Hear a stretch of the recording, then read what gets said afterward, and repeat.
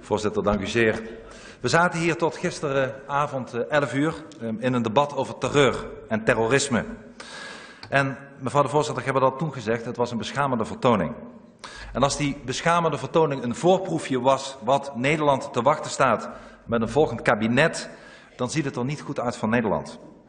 We zagen een premier die de ambitie heeft opnieuw premier te worden, die dat debat ook, belangrijkste thema, ook de komende jaren, allesbehalve serieus nam. Hij zat met zijn telefoon te spelen, dook letterlijk onder de stoel uh, waar de heer Cenk Willink uh, nu zit, was de helft van het debat afwezig, zat wat grappen te maken met zijn collega's en als klap op de vuurpijl noemde hij moslims dubbele slachtoffers van de terreur, terwijl wij natuurlijk het slachtoffer zijn van de islam. Voorzitter, Nederland stemde op 15 maart voor minder terreur, voor meer veiligheid, voor een strenger immigratiebeleid.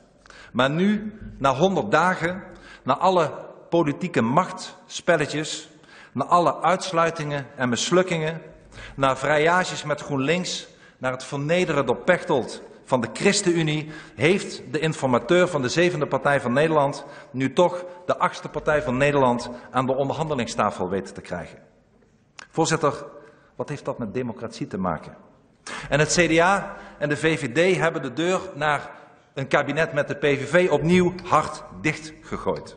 En hun arrogante smoesjes, want dat zijn het, om niet met de PVV te gaan praten, staan nu zelfs op papier.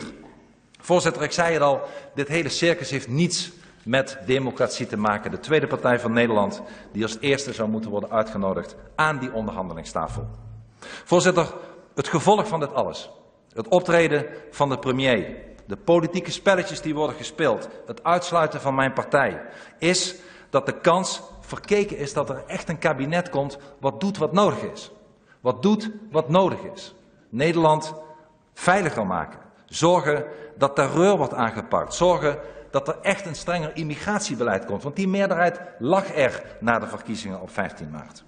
Voorzitter, wat staat ons te wachten als de onderhandelingen met de ChristenUnie, zoals gesuggereerd door de informateur, zouden gaan lukken?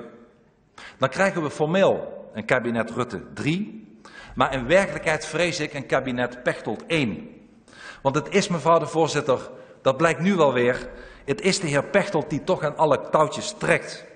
Zelfs de premier, het kwam net al even aan de orde bij een interruptiedebatje, zelfs de premier kakelt hem na over het verbinden van conservatief en progressief. Pechtold 1, voorzitter. Erger kan half Nederland zich toch niet voorstellen. De man die collega Segers eerst keihard tegen de schenen schopte, om daarna vriendschap te veinzen tijdens een etentje waarbij de halve Nederlandse pers door hem was opgetrommeld. Voorzitter, zo'n kabinet, materieel Pechtold 1, zal leiden tot alleen maar meer Europese Unie, tot meer klimaatonzin, tot meer immigratie en waarschijnlijk dus ook tot meer islam in Nederland. Voorzitter, het kabinet Pechtold 1 voor mij, mijn fractie en mijn kiezers de grootste nachtmerrie. Laat het er alsjeblieft niet komen. Maar mocht het er toch komen, dan verzeker ik u, als dat onverhoopt gebeurt, dat wij vanaf dag 1 snoeiharde oppositie gaan voeren. We hadden graag meegeregeerd, onze kiezer had dat ook gewild, we zijn uitgesloten. En als het dan niet komt, ga dan, reken dan niet op ons als het gaat om onze steun. Wij gaan dan keihard oppositie voeren. En ik zeg dan ook, maak uw borst maar nat. Want wij zullen Nederland, ook als u ons uitsluit, nooit in de steek laten. De heer Asser. Ja, voorzitter, het, het, het regent hier weer krokodillentranen van Geert Wilders. Hij mag niet meedoen, het is niet democratisch, niemand wil zijn mening horen.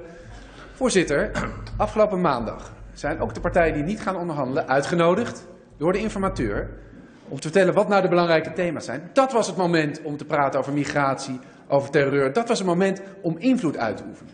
En ik vind het ongelooflijk goedkoop dat de heer Wilders, die hier 10, 20, 30 jaar in de Tweede Kamer zit, betaald wordt door de Nederlanders om zijn werk te doen, geen tijd had, geen zin had, schoolziek was om te gaan vertellen wat er volgens hem moest gebeuren en zich hier weer staat te beklagen alsof hij niet mee mag doen. Er is een uitnodiging gekomen, dan ga je daar naartoe en dan vertel je wat je vindt. En niet hier dan goedkope krokodillentraan. De heer Wilders. Ja, voorzitter, deze interruptie zag je natuurlijk van 100 kilometer aankomen. Wij hadden uitgenodigd moeten worden, meneer Ascher, als tweede partij van Nederland. Wij hebben niet negen zeteltjes gehaald, we hebben twintig zetels gehaald. Wij zijn de tweede partij van Nederland. We hebben anderhalf miljoen mensen op ons gestemd. Wij hadden uitgenodigd moeten worden om te onderhandelen. We hadden uitgenodigd moeten worden aan die onderhandelingstafel. En nogmaals, als dan die onderhandelingen niet lukken, dat kan gebeuren. Niemand weet van tevoren of het lukt. Maar om niet eens het te proberen, om niet eens uitgenodigd te worden, is te gênant voor woorden en inderdaad ondemocratisch. Onze kiezers, anderhalf miljoen mensen, zijn beledigd dat partijen als de VVD en het CDA niet eens met ons hebben geprobeerd te gaan praten. Nou, als dat niet lukt, als dat niet gebeurt, als er bovendien nog brieven komen om die kans helemaal de prullenbak in te gooien van de leiders van de twee partijen, ja, dan ga ik niet pro forma op een uitnodiging in. Dat is overigens niet een verwijt wat ik maak aan de uh, informateur, maar dan ga ik niet op een uitnodiging in die zegt van als wij u uh, nu in de prullenbak hebben gegooid, uw partij en uw anderhalf miljoen kiezers, kom dan eens vertellen wat u vindt dat er moet gebeuren als andere partijen een regering gaan vormen. Wij zijn niet gekke Harry. Nodig ons uit als u wil weten aan de onderhandelingstafel. Ik heb dat 500 keer hier gevraagd. En als dat niet gebeurt, dan zoek het maar uit en dan gaan we oppositie voeren. De heer Asser. Voorzitter, het applaus is, uh, voor de leider is weer klaar. Nog een rondje? Nee, het was niet voor mij. Voorzitter, ja, het klinkt wat altijd harder met 20 dan met 9. Ja, voorzitter, wat ik zo mooi vind, wanneer Wilde, hij heeft gewonnen, hij heeft vijf zetels gewonnen. En hij staat zich hier met 20 zetels te wentelen in de slachtofferrol. Hij staat hier krokodillentranen te huilen. Hij zegt, ik word niet uitgenodigd. En als ik wel word uitgenodigd, dan kom ik lekker niet. Dan ga ik lekker oppositie doen. Wat is het nou voor gedrag? Ik vind, u zag die oppositie Luister. van 100 kilometer aankomen. Had u een beter antwoord moeten verzinnen. Want er is geen antwoord. Het enige wat u zegt, wij hebben de verkiezingen gewonnen en we zijn zielig. Niemand wil onze mening weten. U wordt uitgenodigd.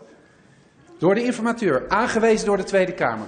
Om te vertellen wat er volgens u moet gebeuren. U laat die mogelijkheid voorbij gaan staat hier weer het vertrouwde liedje te zingen. Er wordt voor geklapt door uw eigen 20 zetels.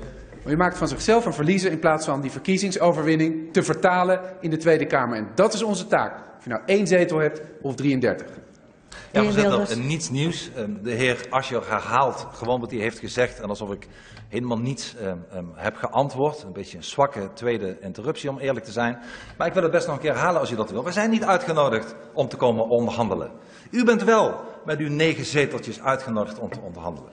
En u heeft dat niet gedaan. Dat is uw goede recht. Wij zijn met twintig zetels, meer dan twee keer zoveel als uw partij, met anderhalf miljoen kiezers. Als er iemand een plaats had verdiend aan die onderhandelingstafel.